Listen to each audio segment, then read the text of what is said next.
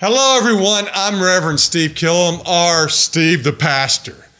Thank you for joining us at St. Paul's United Methodist Church for online worship. We worship in person at 11 a.m.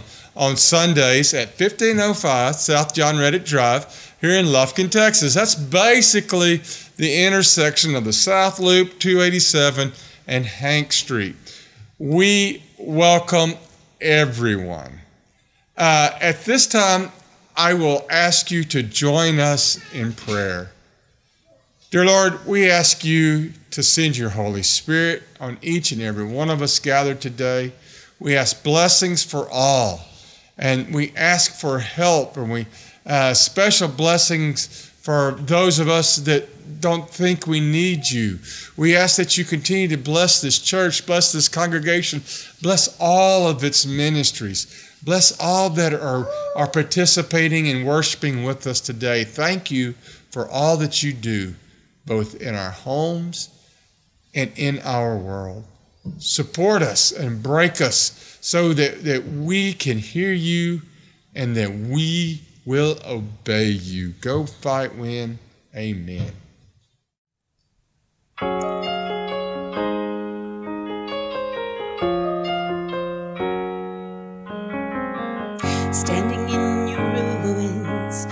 Feels a lot like the end. So used to losing, you're afraid to try again. Right now, all you see are ashes where there was a flame.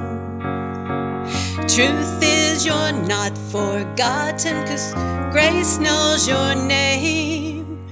God's not done with you, even with your broken wounds and your scars. God's not done with you, even when you're lost and it's hard and you've fallen apart. God's not done with you. It's not over, it's only begun. So don't hide, don't run, cause God's not done with you. You.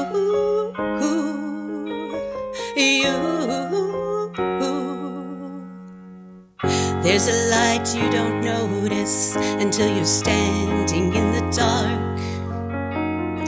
And there's a strength that's growing inside your shattered heart.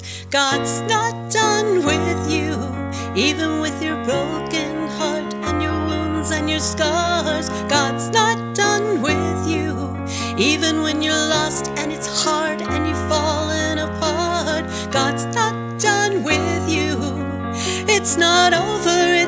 only begun. So don't hide, don't run, cause God's not done with you. You. He's got a plan, this is part of it. He's gonna finish what he started. He's got a plan, this is part of it. He's gonna finish what he started.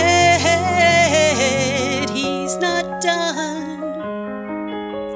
God's not done writing your story. He's not done. God's not done. God's not done with you. Even with your broken heart and your wounds and your scars, God's not done with. Even when you're lost and it's hard and you've fallen apart, God's not done with you. It's not over, it's only begun. So don't hide, don't run, cause God's not done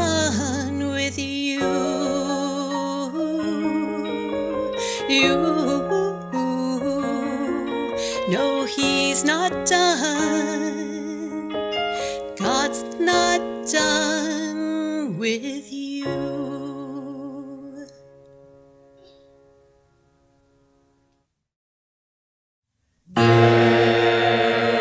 Best friends in the room, they're always here for you. Everyone loves Chip and Tater. Hey, that's us!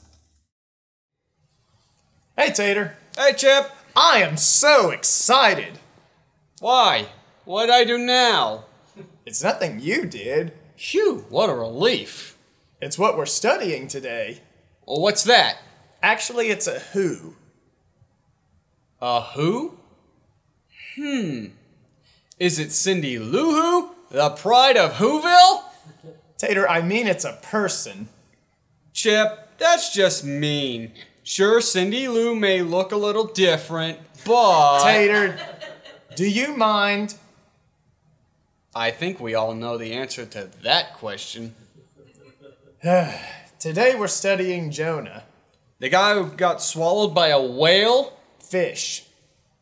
Pardon me, what'd you say?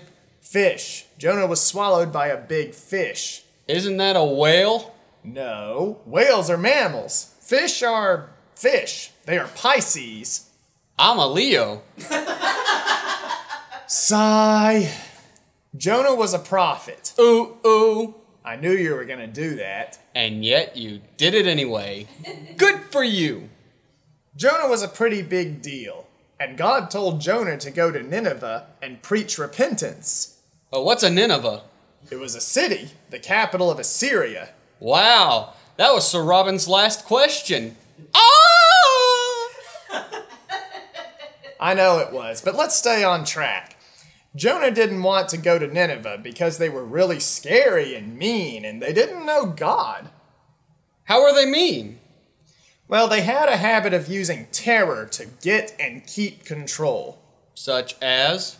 Well, for one, they like to impale their prisoners. Do what?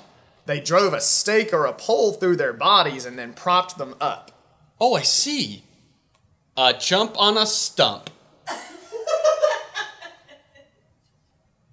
Tater, that was dark, even for you! I do what I can.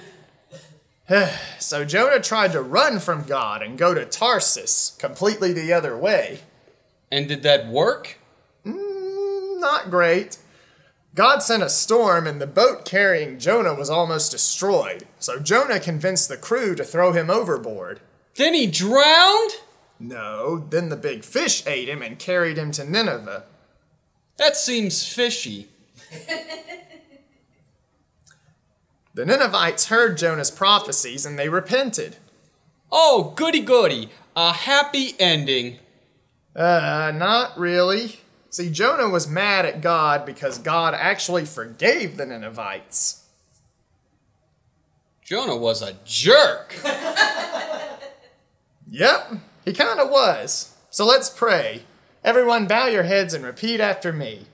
Dear Lord, Dear Lord, help us hear you and give us strength. help us hear you and give us strength.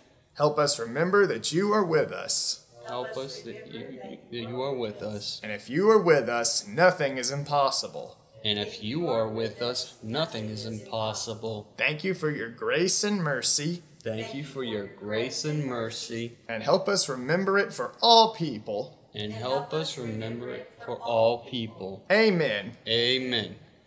So then what happened? When? When Jonah got mad. Well, we really don't know. The story just kind of ends. Some of like your stories. What? Goodbye, Tater. Gone fishing.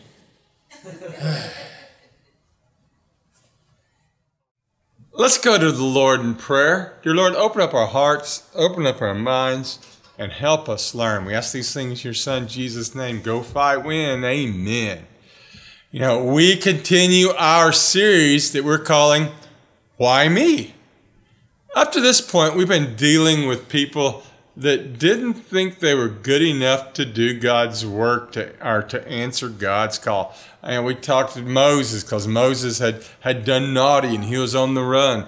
We talked about Gideon because Gideon was the youngest son of a very small tribe.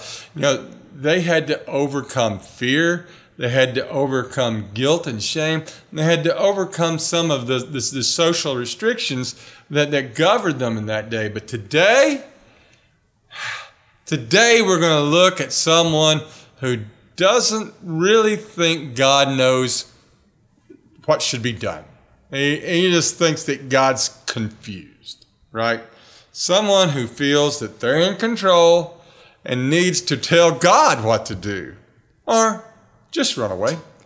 Yes, today we're looking at Jonah. Now, Jonah was a prophet, ooh, ooh, but he never really got it. But, but he was more than secure in doing God's work as, as long as it fit Jonah's schedule. He was successful in Israel. There are other places in the Bible that talk about Jonah, but when we look at Jonah, uh, chapter 1, verses 1 through 3, we see a problem. The Lord's word came to Jonah, Amittai's son. Get up and go to Nineveh, that great city, and cry out against it, for their evil has come to my attention. So Jonah got up to flee to Tarshish from the Lord. He went down to Joppa and found a ship headed for Tarshish. He, he paid his fare and he went aboard to go with them to Tarshish, away from the Lord. This was uh, the Common English Bible, Jonah verse, uh, chapter 1, verses 1 through 3. This is the word of God for the people of God. Thanks be to God. But, you know, sometimes we do the same thing.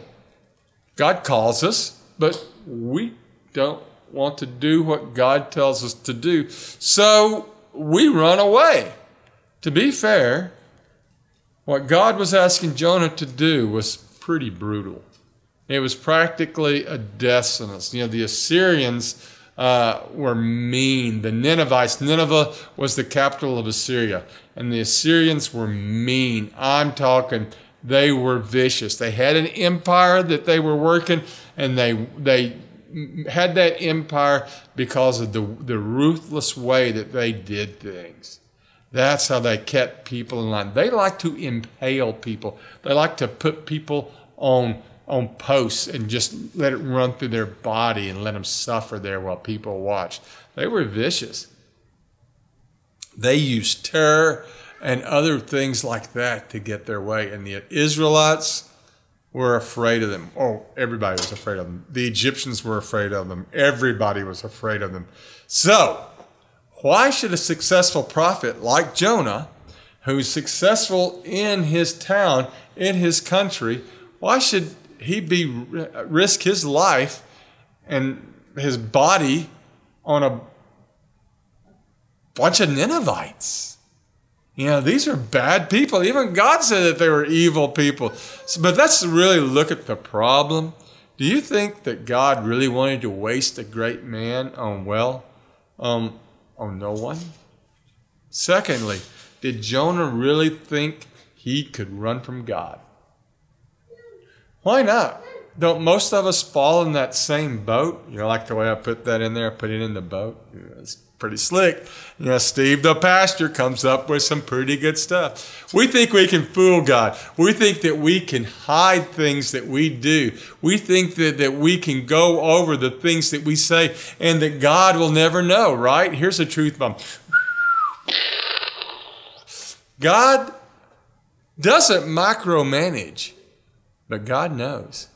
So, God gets Jonah's attention. He gets his attention and he puts him in the belly of a fish. Ugh, that's gross. That's nasty. And God uses that fish to put Jonah where he needs to be, right? Now, this convinces Jonah that maybe uh, he needs to go ahead and do what God is telling him to do. And so he goes to Nineveh, and guess what? He is successful and he doesn't get killed. Happy ending, right? You know, the Ninevites, they, they, they repent, they, they put on ashes and sackcloth, they do all these things, and you know, it, it, it is a miracle. It's amazing. And everybody just went home and sang kumbaya. Well, not really. And we read a little further in Jonah in the fourth chapter, but Jonah thought that it was utterly wrong. And he became angry. He prayed to the Lord, Come on, Lord, wasn't this precisely my point when I was back in my own land? This is why I fled to Tarshish earlier. I know that you're a merciful and compassionate God, that you're very patient, that you're full of faithful love and willing not to destroy. At this point, Lord, you may as well take my life from me because it would be better for me to die now than to live. This is Jonah uh, chapter 4, verses 1 through 3. You know, you got to be amazed at Jonah's brashness. You got to you got to admire his chutzpah, if nothing else. He's got that. He tells God that he, Jonah, was right all along. And furthermore, God's idea was a bad one. So he sulks. Actually, the ending of Jonah is a tad confusing. And I invite everyone to finish chapter 4. You know, wherever you are, go ahead and read the rest of chapter 4. And, and, and when you're finished, you, you'll wonder what happened to chapter 5. But there is none. So, why me? I'm too busy. I'm too important. I know better. Well, I do believe that God is a God of grace and God is a, a God of mercy. I, you know, there are so many things in Jonah, even though it, it, it makes me very uneasy, I can see me in Jonah. I can look and see how he is such a human being. I can see instances in my life and people that I love that we acted very similar to how Jonah acts. Maybe not to the nth degree. Let's admit, Jonah was a dramatic guy. But we do think that sometimes we know better. But, and this is very important, as we end, I also believe that even time in the belly of a fish won't change some people. Go fight, win. Amen. We hope that this has been a blessing to each of us that participated today. We invite you to join us again. We meet in person at 11 a.m. on Sundays at 1505 South John Redditt Drive. If you live in Lufkin or in Angelina County, or you may be visiting in our area, we invite you to drop by and worship with us. We would love that. If you live out of town and wish to correspond with us, uh, the email address is killam underscore Steve, that's K I L L A M underscore S T E V E at hotmail.com. And our address is P.O. Box 921, Lufkin, Texas, and the zip code is 75902. If, if for some reason you feel led to make an offering, we will take that and it, it, it will aid us in changing our world. You uh, please send that to also to PO Box 921, Lufkin, Texas. Uh, the zip code 75902. Please tell us what you think. And, and also tell us how God may be using you uh, to bless the world because this is your church. Go fight, win. Amen.